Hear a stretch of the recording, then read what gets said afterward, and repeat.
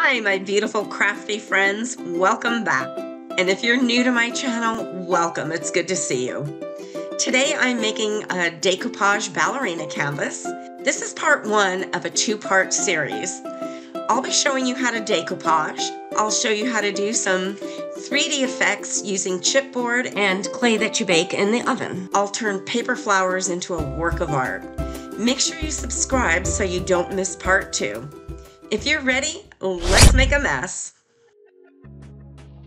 The first thing I'm going to do is cover the entire canvas, including the sides and edges, in white gesso.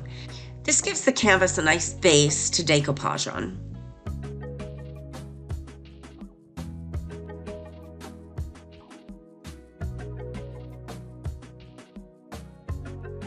I purchased some beautiful paper that I'll be decoupaging on the canvas for my base.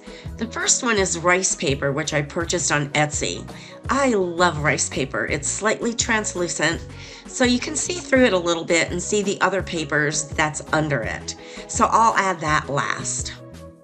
The other papers I just purchased at Hobby Lobby, so you'd be able to get those in any craft store. I'm using a water brush to separate out the picture that I want to use on the rice paper. Once it's wet, I'll tear it so I won't have sharp cut edges. If you don't have a water brush, you can just use a paintbrush and some water and that'll work just fine. For the other papers, I'm spraying the paper with water so that I can get the same torn effect and not a sharp cut edge. Once I have all my papers torn, I'll be using Mod Podge to glue them to the canvas for my base background.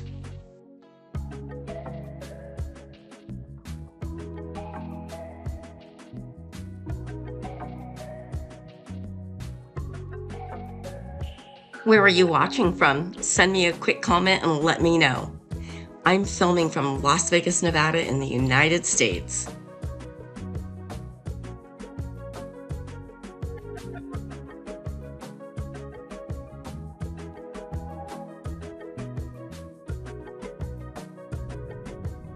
I hope you're enjoying this tutorial. If you are, send me a quick comment and let me know. Make sure you stick around till the end. I'll be showing you how to make a beautiful vintage bow. The easy way.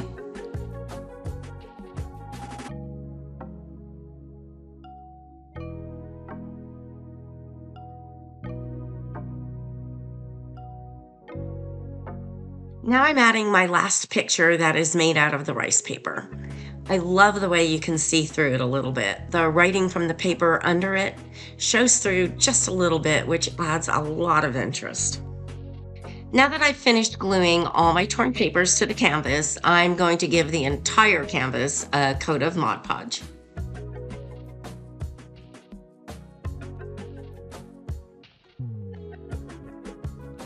I'm tearing some of the excess paper that's hanging over the edges and then gluing it down. I'm carrying over the same torn look as the top of the canvas. And I'm adding some little small torn pieces where there's too big of a blank.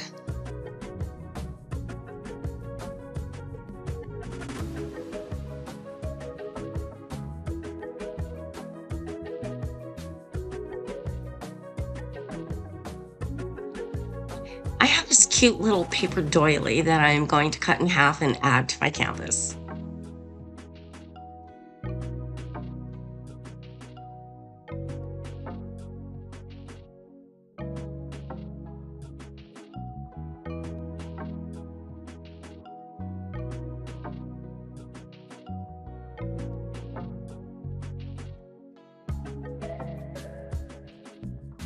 Now that I have all my paper decoupaged, I'm going to add a coat of matte spray sealer. I'm going to be doing some paint effects later and I don't want any of the paint to absorb into the decoupaged paper. I'm painting this pretty chipboard flourish I found at Hobby Lobby. I'm sponging it with some gold paint and then I'll be antiquing it after it dries.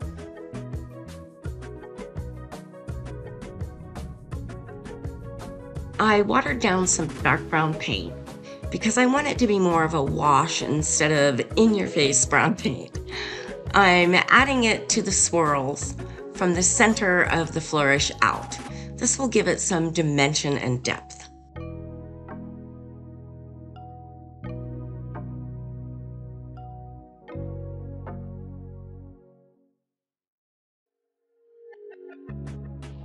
Adding some highlights to my flourish with a white frost wax rub. This will give it kind of a pearly look and brighten it up a bit.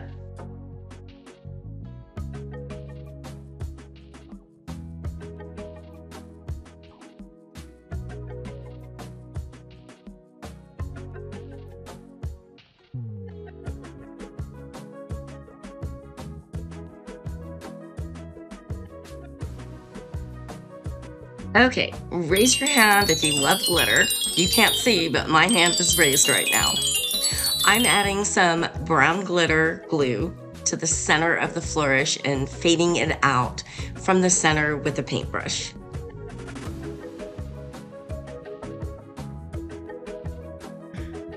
After this dries, I'll add a coat of triple thick glaze spray sealer.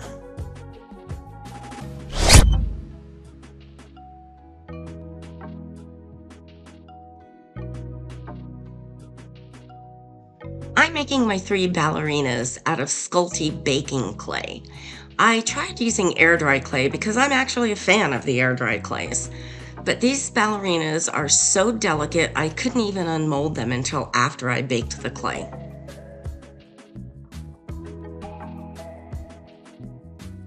My ballerinas are baked and unmolded, so I'm going to give them a coat of gold paint. This project is not for someone that likes dull. With all the gold and glitter, it's going to take your breath away once it's complete. I glued some stir sticks temporarily to the backs of them with my glue gun, so I'd have something to hold on to while I'm painting them.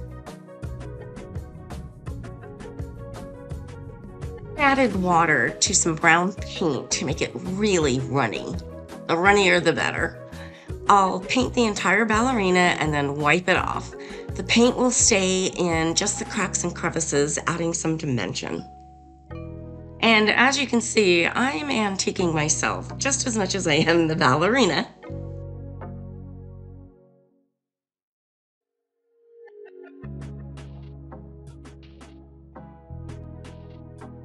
Now it's time to add some highlights and glitter to these beautiful girls. I'm using the White Frost Wax Rub again, and at the bottom of their tutus, I'm going to add some pink glitter glue. I decided that the glitter glue wasn't going to be enough glitter. So I added some pink chunky glitter along with the glue, and I'm loving it. Everything is dry, so I'm going to add a coat of glossy varnish now.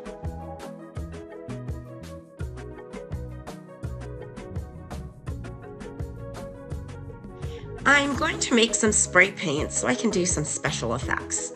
I got some tiny little spray bottles on Amazon to make it in. I'm adding water and just a little bit of paint so it's very, very watery and it'll be able to be sprayed. These are just some plain paper flowers. I added the stir stick for a handle and now I'm separating all the petals. I'll be spraying them with some triple thick glaze sealer and I want it to go between all the petals. This will stiffen up the flowers a little bit so I'll be able to paint them. And they will become a work of art.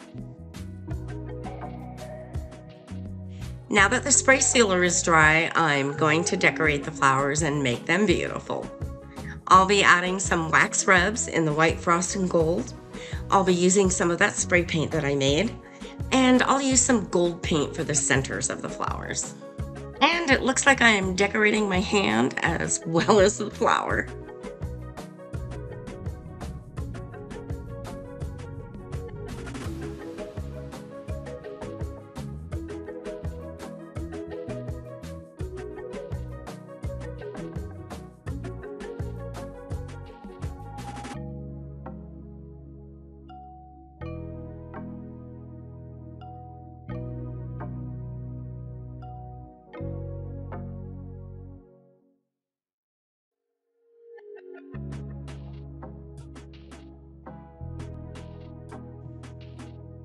If you're enjoying this video, don't forget to like, subscribe, and share it with all your friends.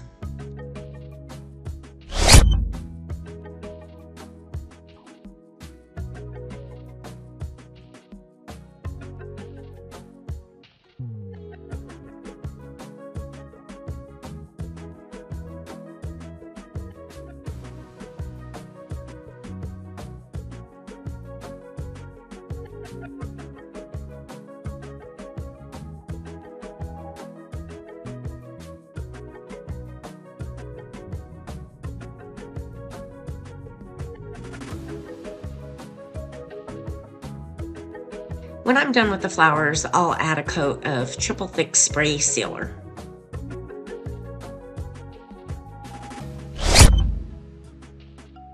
I'm removing all the stir sticks from the back of everything.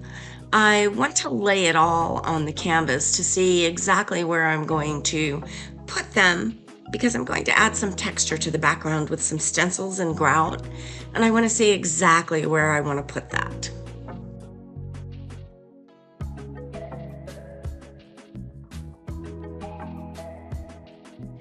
Using a brick pattern stencil and I'll also do a flourish.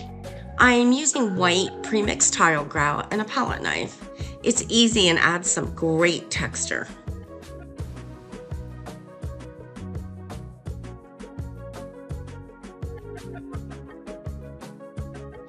Adding the brick pattern to the edges of the canvas as well, anywhere I see a large blank spot.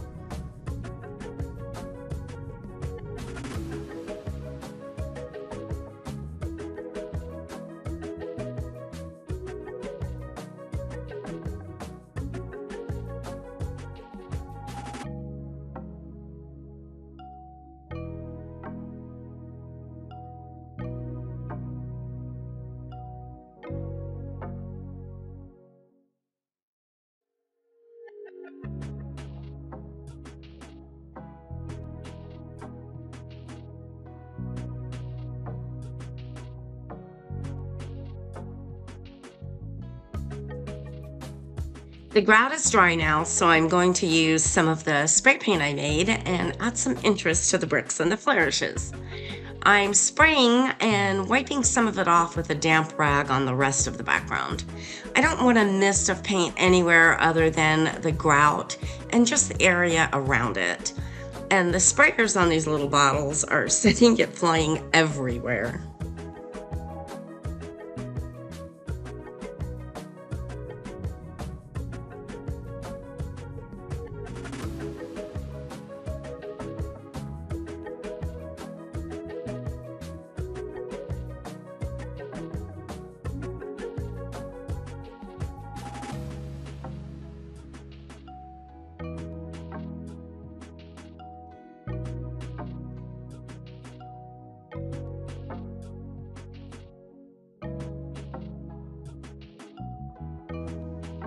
I'm using a sponge and adding some iced espresso rub to the edges of the canvas to give it an antique look.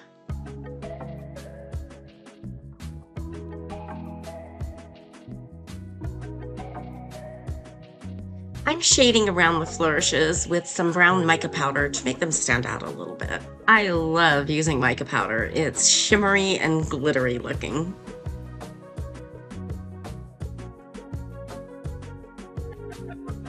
The background is complete now, so I'm going to give it a quick coat of triple thick glaze spray sealer. When that dries, I'll add all my embellishments.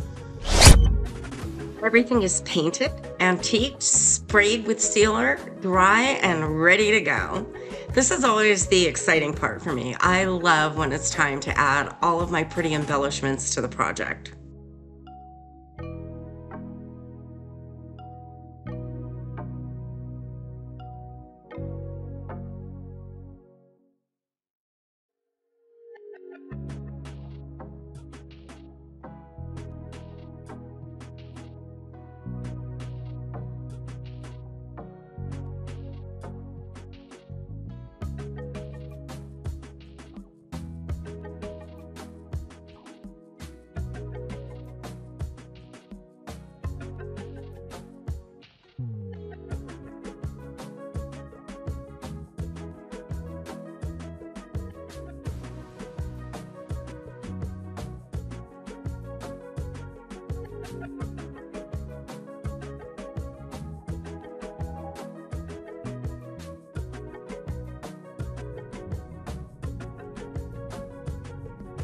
Before I glue my ballerinas to the canvas, I'm marking exactly where I want to put them with some painter's tape.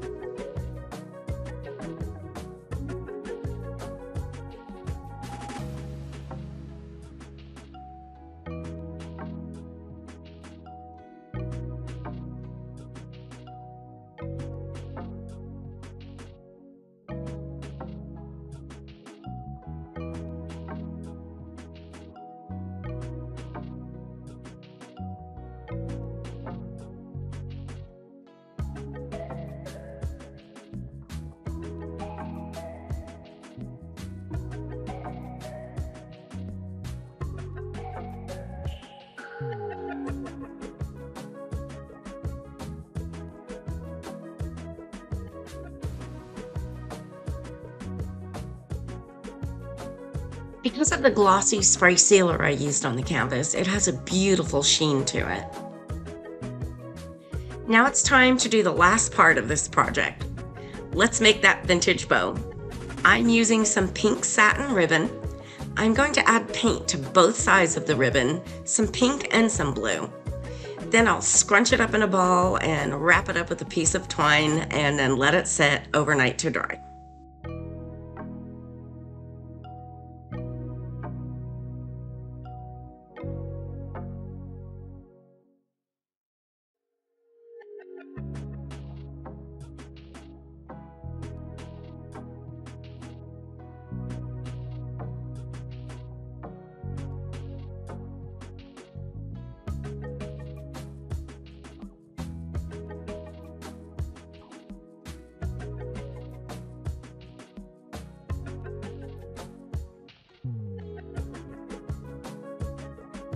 The ribbon is dry now, so I'm going to remove the twine and add some gold rub. Then I'll tie it in a bow and glue it to the canvas.